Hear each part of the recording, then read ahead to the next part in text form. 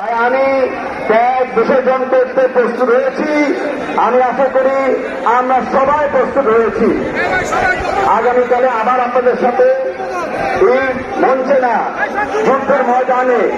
মাঠেই কিন্তু ডাকা হবে এবং আপনাদেরকে সাথে নিয়ে, আপনাদেরকে পাশে নিয়ে আমরা আমাদের এই কর্মসূচি, যুদ্ধ লক্ষ্যতে আমি এগিয়ে যাব। আজকে যেটাতে আমি আমার বক্তব্য সমিত রাখছি আর আমি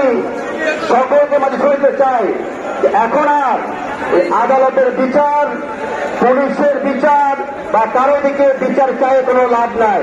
কোন জায়গায় কোনো অভিযোগ করে লাভ নাই। আগামীতে বিচার করবে জনগণ, আগামীতে রায় করবে বাংলার জনগণ।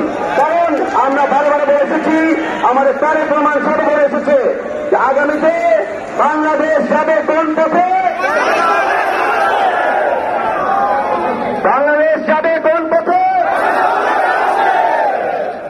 বাংলাদেশ জিন্দাবাদ।